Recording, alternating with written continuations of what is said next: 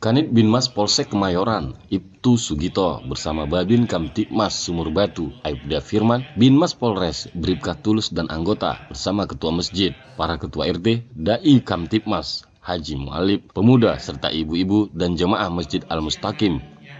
Dalam tausiah, Kanit Binmas menyampaikan permohonan maaf atas ketidakhadiran Kabak Sumba karena berhalangan hadir. Informasi keamanan wilayah Sumur Batu cukup terkendali. Kanit Binmas juga menyampaikan agar seluruh yang hadir untuk menjaga amanah Allah yang dipercayakan kepada kita.